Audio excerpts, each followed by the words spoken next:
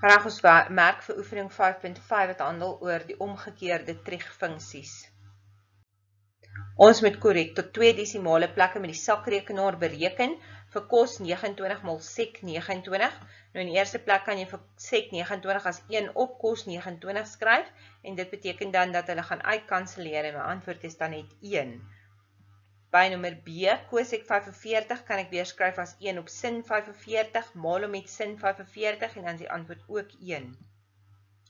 By C, cosec kwadraat 60 gaan ek omskryf as 1 op sin 60 met 'n kwadraat.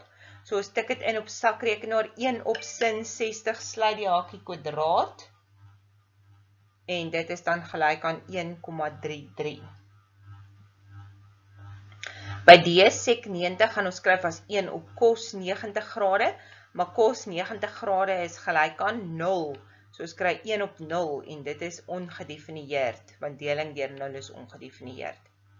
Cot van 79 gaan jy intik 1 op tan 79 plus cos 10 grade. So onthou 1 op tan 79 sluit jou hakkie, gaan onder die breek uit plus cos 10 sluit die hakkie is gelyk aan en dit gee vir ons 1,18. By F gaan jy vir cosec 40 skryf as 1 op sin 40 en cosec 10 1 op sin 10 en dit gee dan vir my 7,31. By nommer G gaan ons daai enetjie skryf as cosec 50 grade, so hy word 1 op sin 50 grade en dit is 1,31. 2 sec 60 gaan jy skryf as 2 op cos 60 grade.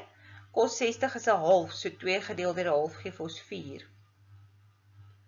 By u kry jy 1 op sec 60, so dit word cos 60 en dit is 'n half.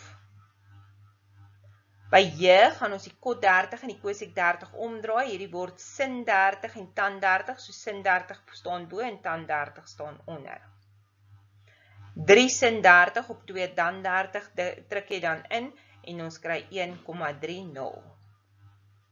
Cot kwadraat 30 plus 1 gaan ons skryf as 1 op tan 30 kwadraat 30 grade plus 1. So as jy intik 1 op tan 30 sluit jy hakkie kwadraat, gaan onder die hakkie uit plus 1 en dan kry ons daar 4.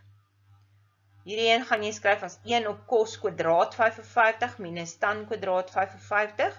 As jy intik, maak jy 'n breek oop en sê 1 op cos 55 sluit die hakkie kwadraat, gaan onder die breek uit minus tan 55 sluit die hakkie kwadraat. As jy natuurlik 'n sharp sakrekenaar het, dan gaan jy intik 1 op hakkie, cos 55 sluit die hakkie kwadraat, onder die breek uit minus hakkie tan 55 sluit die hakkie kwadraat. En dit geef my 1.